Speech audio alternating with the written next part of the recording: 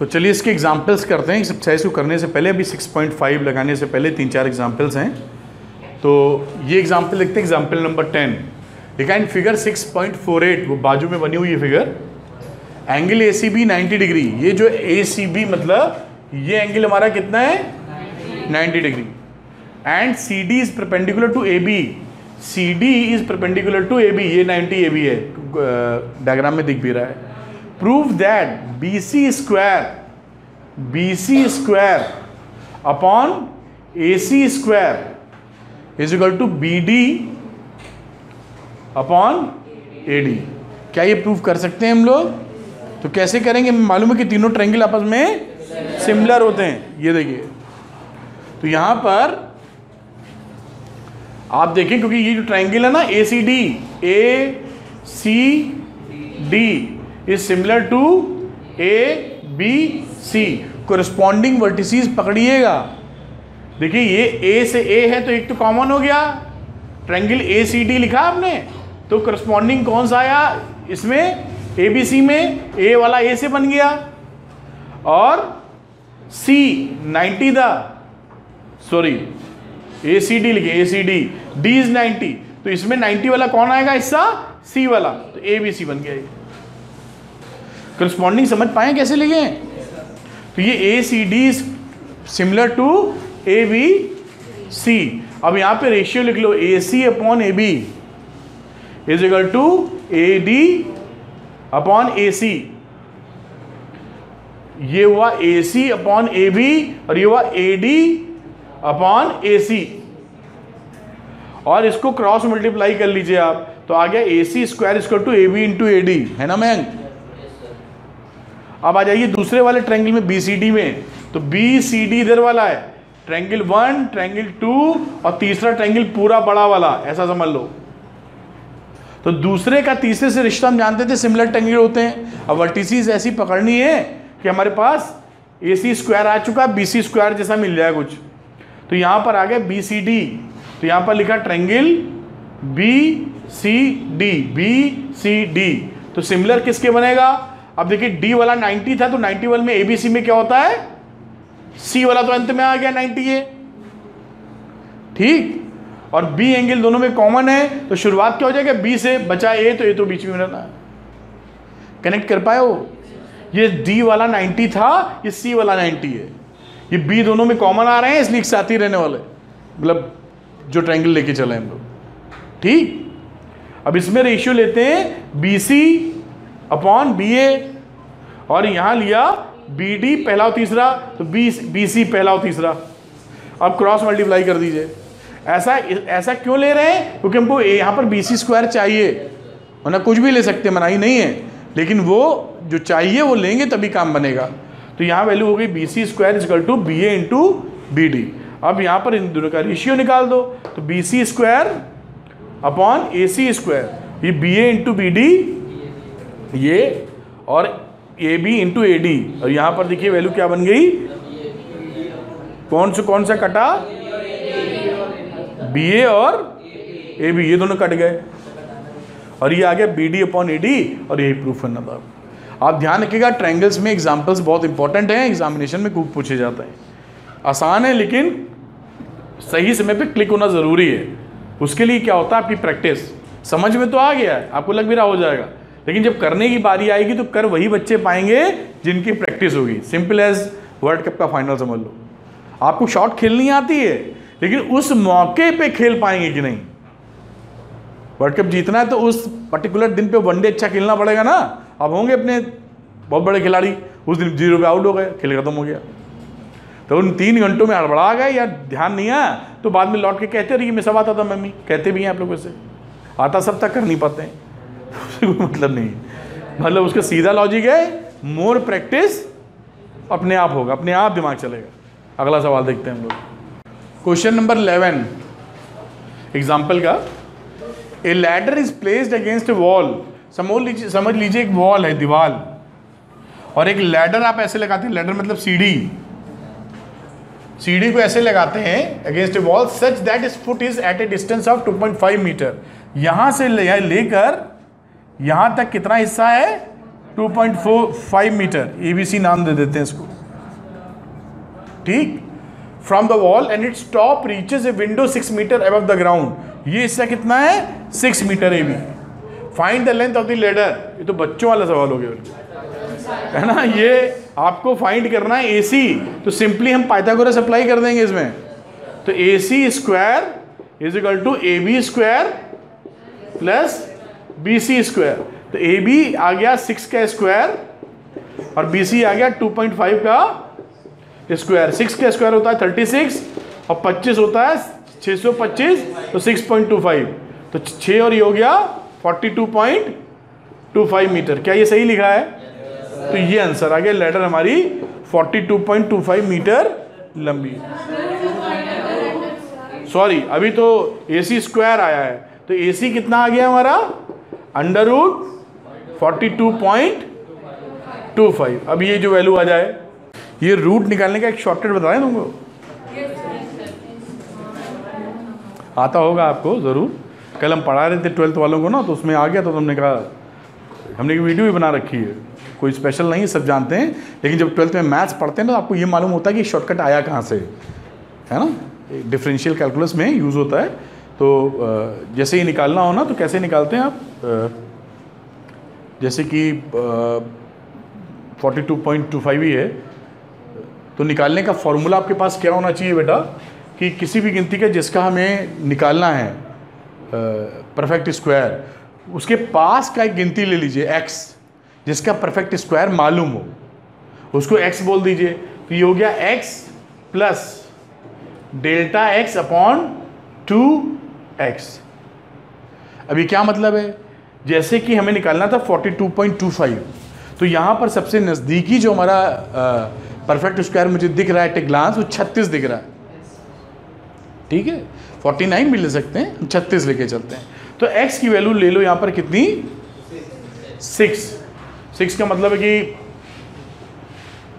Under root लगा लो यहाँ। X ले लो 36 तो 36 का लोगे तो क्या आ जाएगा यहाँ पे? सिक्स और ये हो जाएगा टू इंटू सिक्स ठीक है? अब 42.5 छत्तीस से कितना आगे?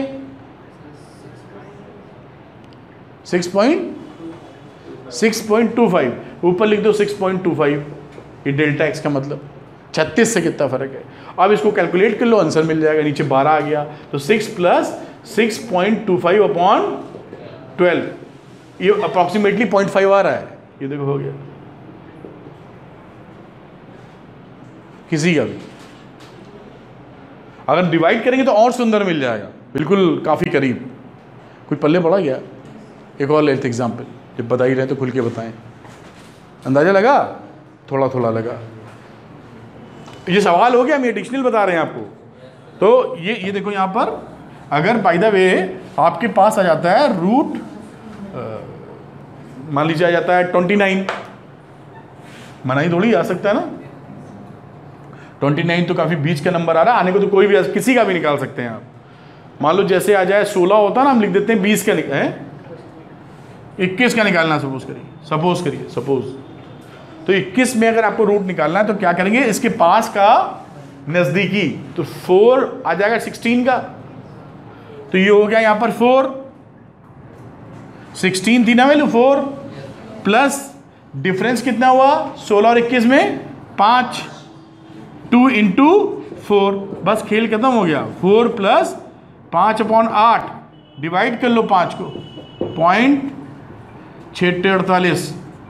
दो। आठ दूनी सोलह। आंसर आ गया फोर पॉइंट सिक्स टू इतना आसान? चेक कर लेते हैं कैलकुलेटर से।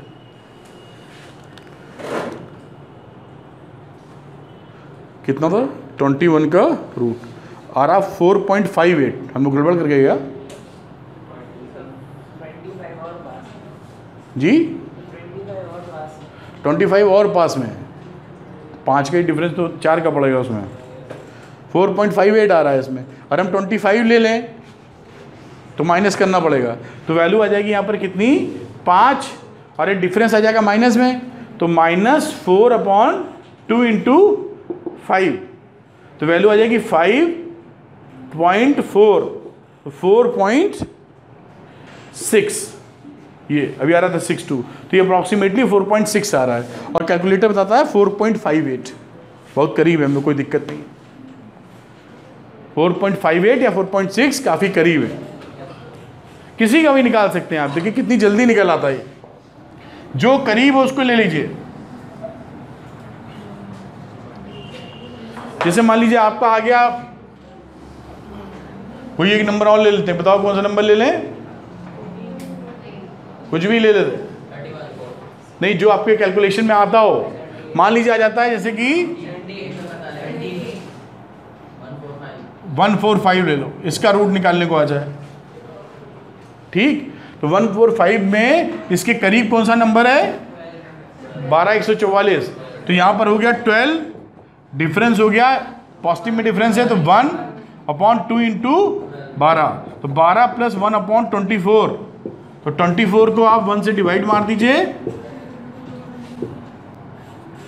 तो वैल्यू आ गई ट्वेल्व पॉइंट ज़ीरो फोर बस हो गया, देखिए कितनी तेज़ी से आ रहा है। अब मैं ट्वेल्व का रूट भी चेक कर लूँ अगर तो आ रहा है ट्वेल्व का ट्वेल्व नहीं वन फोर्टी फाइव का रूट तो ट्वेल्व पॉइंट ज़ीरो फोर आ रहा है एक और देखो, दे मान लो ऐसे आ जाए तुम्हारे यहाँ। काफ़ी अप्रोक्सीमेशन है? टू रूट सिक्स तो बाद में देखेंगे। Two forty three point three two suppose करो आ जाए। इसका रूट आ जाए। थोड़ी तकलीफ़ हो सकती निकालने में। अब 243 के करीब किसका अंडर रूट है? पंद्रह दो सौ पच्चीस होता है। तो 225 ही आ रहा है ना? तो 225 पकड़ो तो 15 प्लस 225 से कितना डिफरेंस हो गया? अट्ठारह दशमलव तीन दो।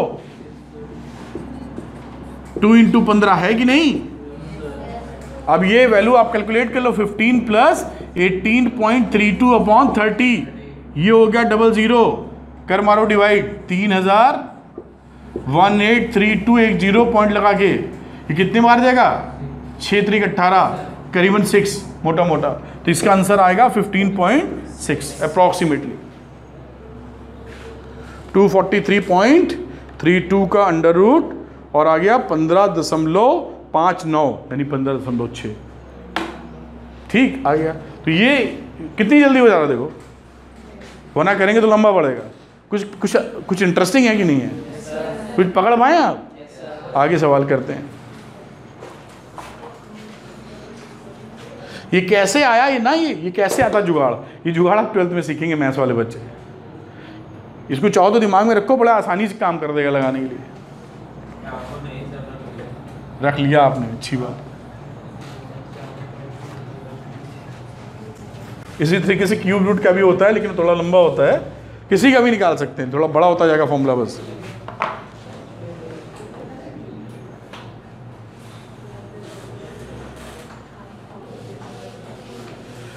ये क्वेश्चन नंबर ट्वेल्व देखते हैं। इन फिगर 6.50 वो फिगर बनी हुई है।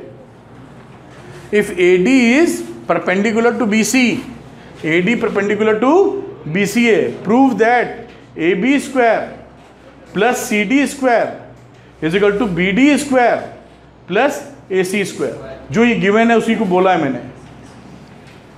ठीक? अब देखिए कैसे कर सकते हैं इसको? From from A D C A D C में हमने पाइथागोरस थ्योरम लगा दिए।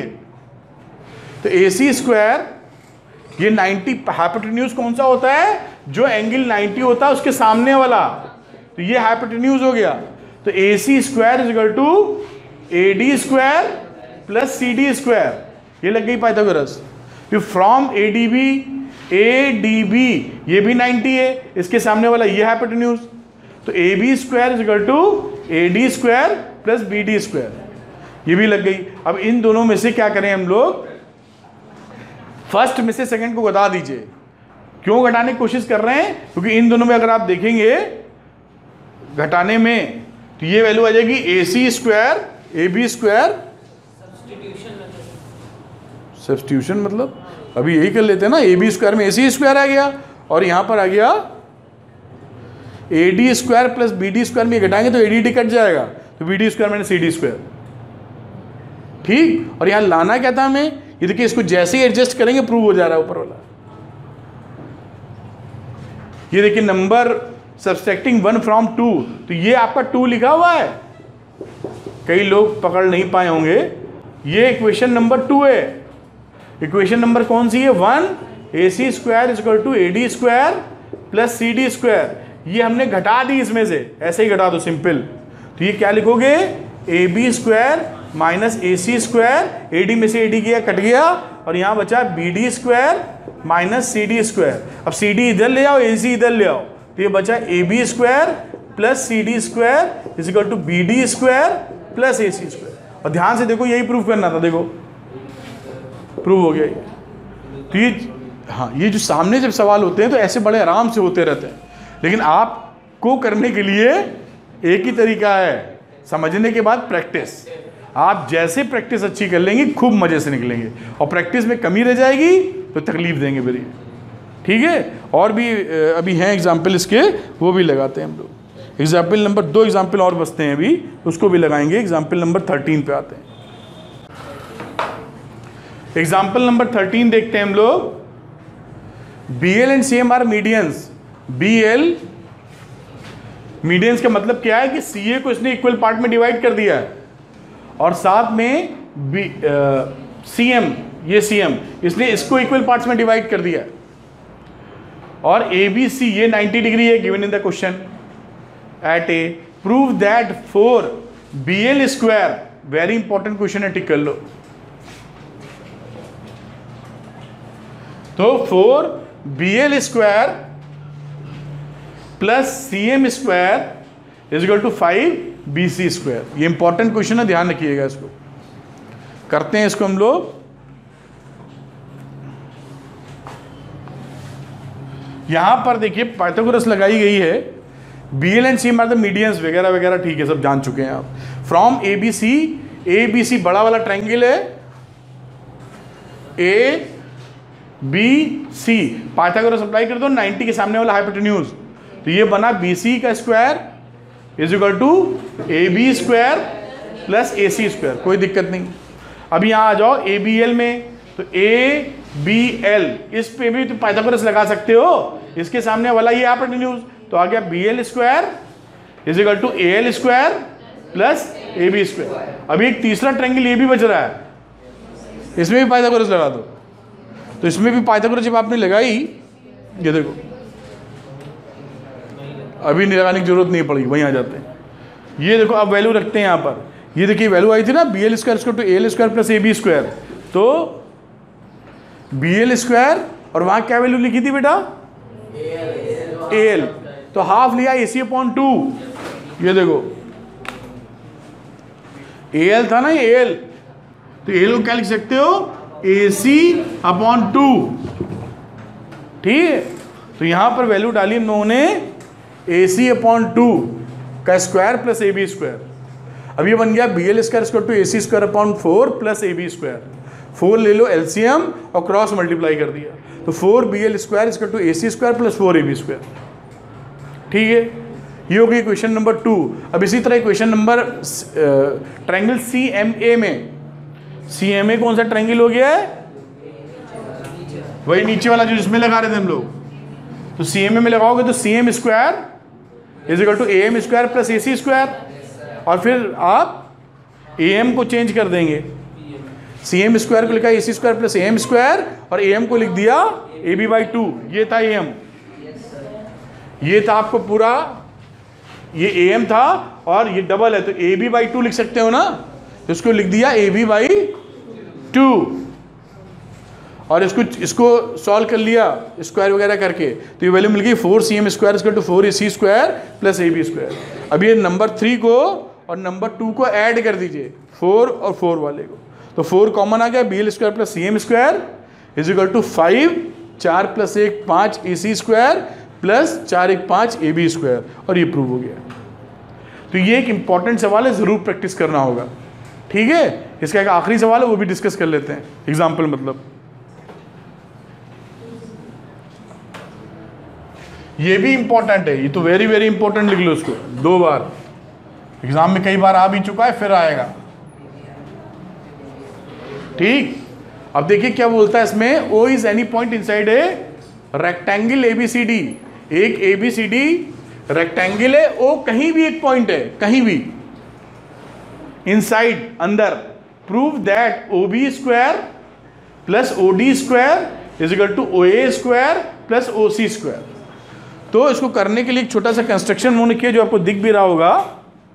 और ये कंस्ट्रक्शन क्या है कि जहाँ पर ये तो ये पॉइंट ओ था, वहाँ से एक लाइन खींची पी क्यू जो कि बीसी के पैरेलल है। P Q is parallel to BC उसने इंटरसेक्ट किया ए बी को पी पर और डीसी को क्यू पर।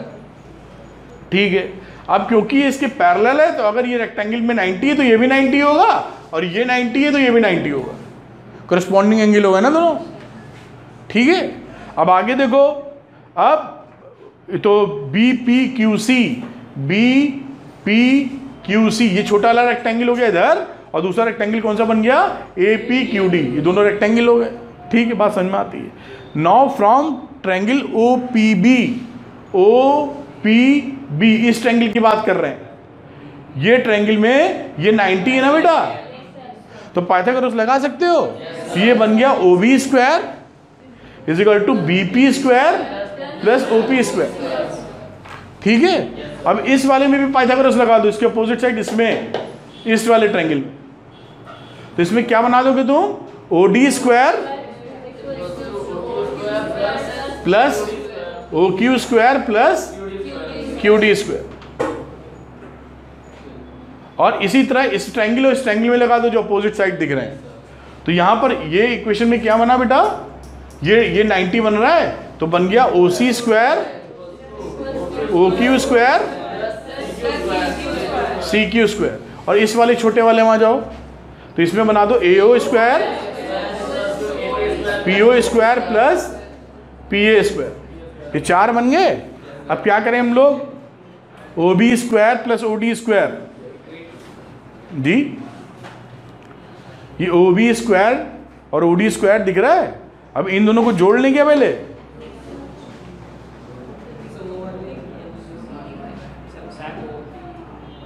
ये ओ C square O A square एक तरफ़ थी ना? तो हम क्या करते हैं? इन दोनों को जोड़ते हैं, इन दोनों को घटा देंगे इसमें से। तो हमने पहले जोड़ा O B square plus O D square और इधर इन दोनों को जोड़ा। O C square plus A O square ये वैल्यू क्या आ गई? B P square plus O P square plus O Q square plus O D square है ना?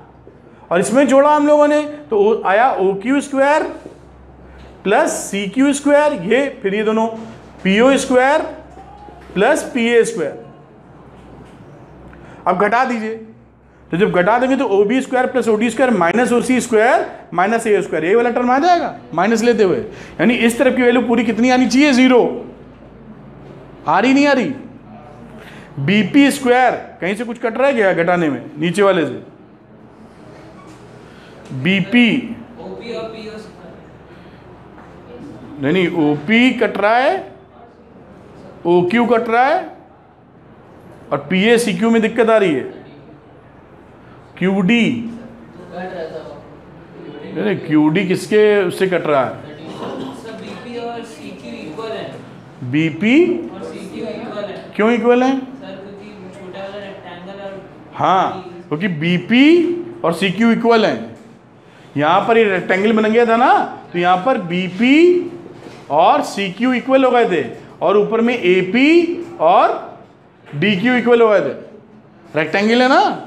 तो इस वजह से ये जब आप सब्सट्रैक्ट करोगे माइनस तो इस ओ क्यू से ये ओ क्यू कट जाएगा और ओ पी से ये ओ पी कट जाएगा। बी पी और सी क्यू एक जैसे हैं तो ये दोनों कट जाएँगे। और ए पी और डी क्यू एक जैसे हैं तो ए पी और डी क्यू एक जैसे कट जाएँगे तो ये आ जाएगा ज़ीरो और ये आ जाएगा O B square plus O D square minus O C square minus A O square इसको इधर ले जाओगे तो यही आ जाएगा प्रूफ करना है। तो इसको आप इधर ले जाओगे तो प्रूफ हो जाएगा O B square plus O D square is equal to O C square plus A O square ये देखो प्रूव हुआ? क्या ये समझ पाए हो? ये बहुत ही इंपॉर्टेंट सवाल है। ध्यान ये भी रखना कि ये दोनों रेक्टेंगल बने रेक्टेंगल तो रेक्टेंगल बनने की वजह से ये हिस्सा इसके बराबर हो गया और ये हिस्सा इसके बराबर हो गया। तब कट गए ठीक है? तो ये जो उसके एग्जाम्पल्स थे, हम लोगों ने चार एग्ज़ाम्पल थे जहाँ तक कर लिए तो नेक्स्ट टाइम हम लोग इसके क्वेश्चंस को पुटअप करेंगे और करना शुरू करेंगे। Thank you